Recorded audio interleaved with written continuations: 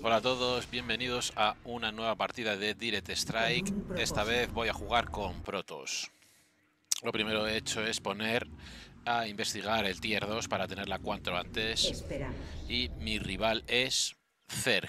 En este caso voy en segunda posición, o sea que no va a dar tiempo a hacer el Tier 2 en primera oleada, así que directamente tengo que enviar algunas unidades o no, pero bueno, yo en este caso sí que pongo, como veis, una unidad en cada esquinita para intentar capturar medio. Estas unidades van a intentar capturar medio a través del pasar del búnker, aunque si nuestro rival envía tropas, lo más probable es que nos las liquide, ¿vale? Pero no obstante, siempre hago esto. Ahora una vez que ha pasado el tiempo de primera ronda, las voy a reubicar aquí, como podéis ver. Y vamos a ver qué es lo que qué es lo que lleva nuestro oponente, a ver si lleva algo en primera ronda. Efectivamente ha hecho algo parecido a nosotros y ha enviado en este caso un solo Zerling, que lo hemos liquidado y capturamos medio. Un poquito más adelante ahora le vamos a hacer un, un escaneo porque él ha hecho también tier 2 sea que no sabemos lo que puede enviarnos. Hoy hay que estar preparados.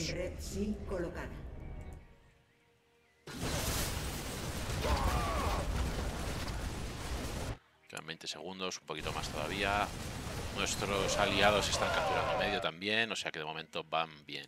Voy a hacerle ya el escaneo y lleva unidades enterradas, con lo cual yo voy a hacer inmortal, y también le voy a hacer mis propias invisibles. A ver qué tal funciona esto. De momento lo he puesto un poco raro. Un poco por el tema prisas, ¿vale? Pero ahora en breve los voy a ir reubicando en mejores posiciones. Esto lo voy a poner en esta esquinita. A ver si pasa desapercibido este invisible.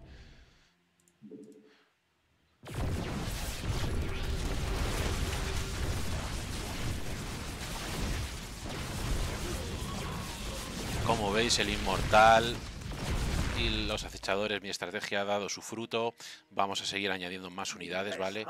Como lleva algunos Zerling, voy a añadir algunos algunas adeptas, ¿vale? Que son una unidad muy buena contra unidades ligeras. Por si se me ocurre enviar muchos más, pues yo voy a poner también un poquito de estas unidades. Voy a reubicar ahí voy a poner más acechador. Y como podéis ver uno de los eh, rivales ha abandonado directamente la partida.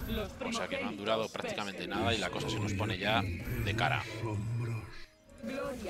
Pero hay que tener cuidado como os he dicho en alguna partida anterior que cuando se va uno de los rivales lo que es la el orden de enfrentamientos va a cambiar y la cosa puede puede ponerse difícil. Pero sinceramente lo veo muy difícil que ahora ya pueden hacernos algo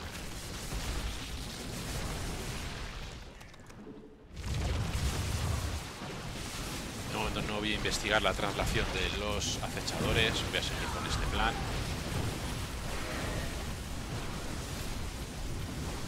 A ver si es capaz nuestro rival, a nuestro rival yo creo que le va a hacer daño. Voy a poner por aquí otro inmortal en este lado. Otra adepta más. Gloria para los Daelan. Quedan poquito de tiempo. Vamos a ver si soy capaz de hacer otro acechador. Va a ser que sí. Y ahora sí les voy a poner automáticamente que investigar la traslación, que es la habilidad que les va a hacer saltar automáticamente hacia atrás cuando se les agoten los escudos. También lo podemos eh, hacer nosotros manualmente, aunque en este caso pues dejarlo automático es bastante bueno. Este rival trae muchos fanáticos y yo a mí me va a hacer mucha pupa, de hecho me va a pasar por encima probablemente. Voy a tener que hacer algo porque al ser dos rivales me va a tocar enfrentarme a él sí o sí de vez en cuando. Voy a añadir muchos más... Podría hacer fanáticos un poco para enfrentarme a, sus fanáticos, pero en este caso yo prefiero hacer adeptas, ¿vale? Y en un momento dado también voy a... Primero a este invisible lo voy a transformar directamente en un arconte, ¿vale? Que es una unidad que hace daño de área y que es muy buena contra, contra Cergi, también contra esos fanáticos. Y lo voy a transformar, lo voy a poner ahí. Así no da tiempo a, otro, a otra adepta más. O al menos otro acechador. También otro acechador. Como os decía, podría hacer eh, fanáticos para enfrentar a sus fanáticos, pero a mí me gusta más hacer tropas de disparo, que en este caso son los las adeptas que tienen muchísimo daño contra unidades ligeras, en este caso contra los fanáticos, y cuando tenga suficientes es que los voy a barrer a los fanáticos antes en cuanto lleguen a tocarme, ¿vale? Y más si le hago la mejora que les voy a hacer directamente de agujas resonantes.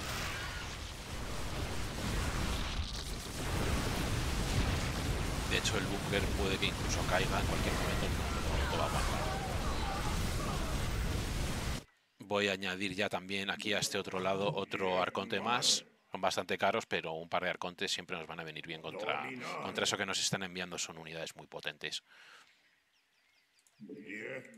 Por lo menos estos dos rivales que quedan han optado por quedarse en la partida, ¿vale? Uno de ellos se ha ido muy deprisa.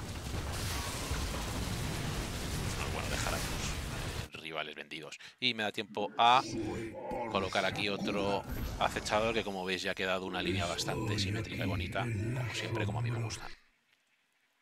Y puesto que estamos controlando medio y vamos a coger búnker, yo voy a poner ya a que se haga automáticamente asimilador. Normalmente, mira, acabamos de coger búnker, pues cuando cogemos búnker, lo ideal es eh, plantar el primer gas.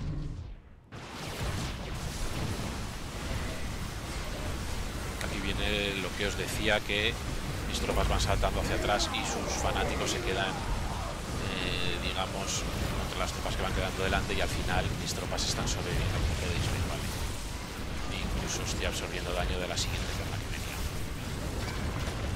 Podría casi irme directamente a hacer el tier 3 y saltar directamente a las tropas de, de última ronda, pero en este caso pues voy a optar por, por completar un poquito más la línea y darle más un poco más de solidez. Voy a completar con adeptas. Voy a poner a cada lado un centinela que van a lanzar alucinaciones y van a añadir, eh, ponen unos escudos automáticamente que protegen a las unidades cercanas.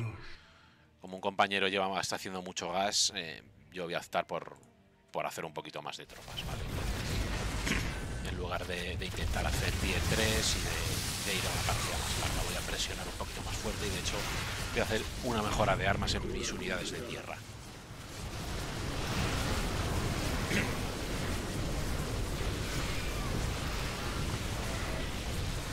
Pues ya tengo una fuerza bastante consistente.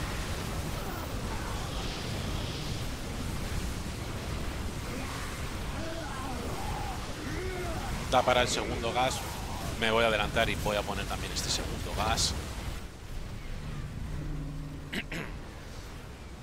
para ir ganando potencia económica y como me gustan mucho los acechadores que son casi escudos, son como escudos casi vivientes, van a ir saltando automáticamente hacia atrás, entonces son una unidad bastante poderosa con los protos.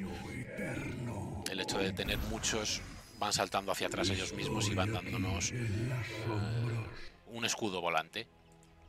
Como si fuésemos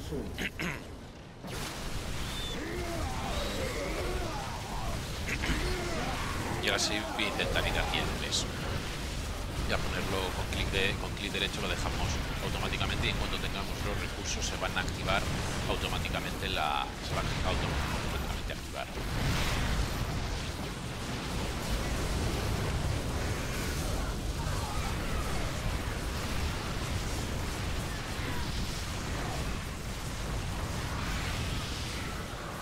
Estamos avanzando bastante Ya se me ha activado tier 3. Me falta por aquí añadir un huequecito más una adepta y me gusta que quede bonito, o sea que lo voy a añadir. Los primogénitos. Y en cuanto se me haga tier 3 voy directamente a los portanaves.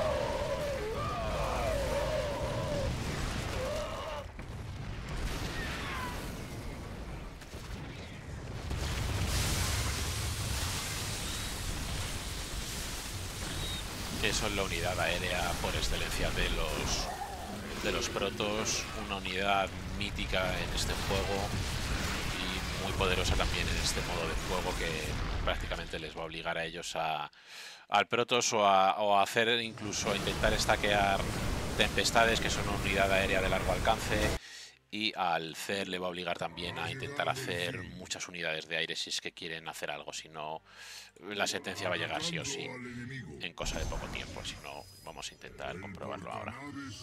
Tenemos ya el primer portanaves.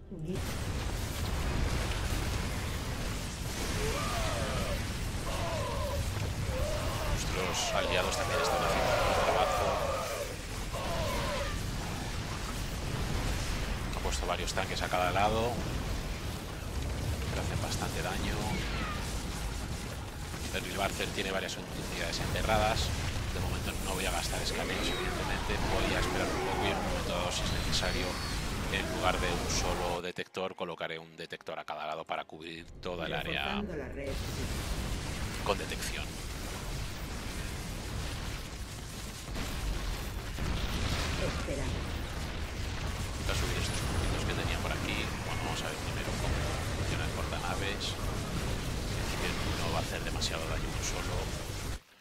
Así ya va a meter miedo con su presencia. Colocamos aquí este otro. Y estos puntos que tenía por aquí los voy a subir un momentito. Ahí está. Sigue sobreviviendo el primer portanaves que he enviado. Imaginaros lo poderoso que puede llegar a ser y directamente voy a hacer el tercer asimilador para tener todavía más gas. Estamos en minuto 11, tener tres gases en minuto 11 es bastante bueno, ¿vale? Esto es, casi se podría decir, inicios de partida, ¿vale? Pero les veo muy pocas opciones a estos rivales. Tenemos, nuestro equipo tiene bastante gas, tenemos dos, tres, incluso cuatro gases. Yo ya estoy haciendo las tecnologías más poderosas ahora mismo tienen muy pocas opciones. Tendríamos que nosotros cometer muchos errores y ellos hacerlo bastante bien, ¿vale?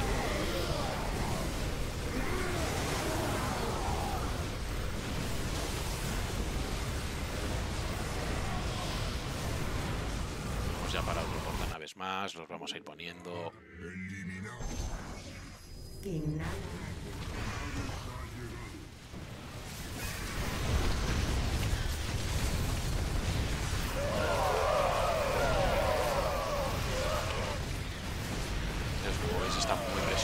consiguen avanzar de su propio búnker, lo están utilizando como, como escudo, no consiguen avanzar de aquí. Pero al menos siguen en la partida, no como su aliado que ha abandonado la partida rápidamente.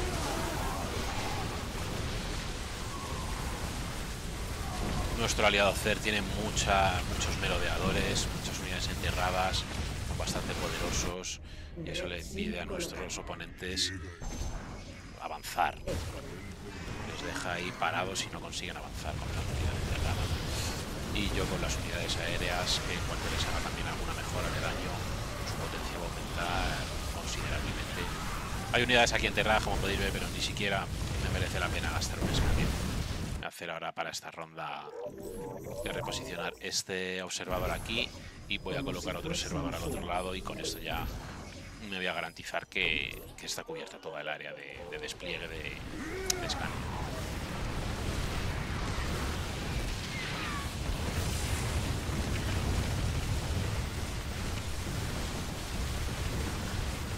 Y les voy a hacer a mis portanaves una mejora de las armas, por si acaso, pues para avanzar un poquito más rápidamente y para ir bastante.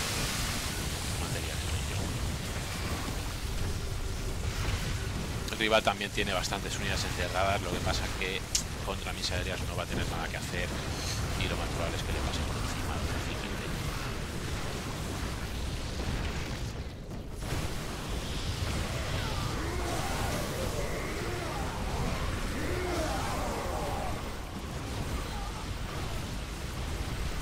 Tengo ya portanaves, seguimos añadiendo y ellos más les vale que empiecen a hacer unidades de antiaire rápidamente porque si no yo en un momento dado voy a hacer una masa de portanaves que va a ser imparable.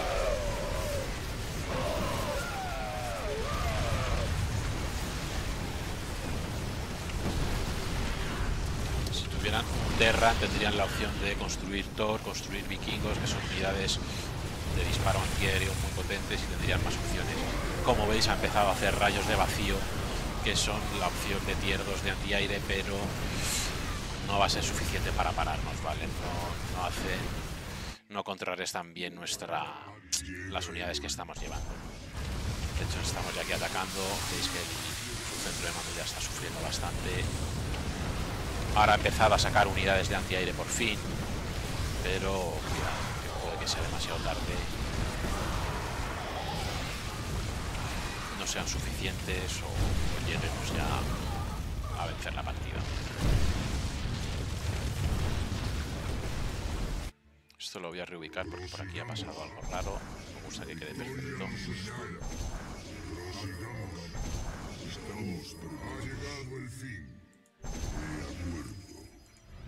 Me da tiempo a poner otro. Mira, justo me da tiempo a poner otro. Que lo voy a reubicar por aquí.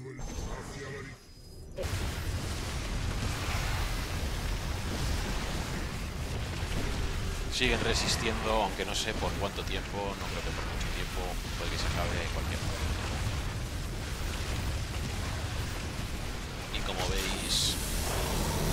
Bueno, esta partida ha sido bastante facilita. No obstante, bueno, la idea de esta partida, como, como comentaba al principio, mmm, íbamos en, en ronda 2, en este caso ha sido esperar un poco a ver qué hacía el oponente habéis visto que ha hecho los merodeadores y nosotros hemos podido escanear, le hemos enviado un inmortal y con los dos stalkers del principio el invisible ha sido suficiente para, para ganar medio en primera ronda y luego ya pues hemos, hemos seguido con las adeptas que han venido muy bien una vez que se ha ido el rival para darle a los, a los fanáticos, los stalkers y ya hemos podido saltar directamente a los portanaves y sentenciar la partida. Espero que os haya gustado y cualquier cosa podéis dejármela en comentarios, estaré encantado de leeros y si os suscribís y lo deis a me gusta, pues estaré aún más agradecido. Muchas gracias por la visualización y hasta el siguiente vídeo. Chao, chao.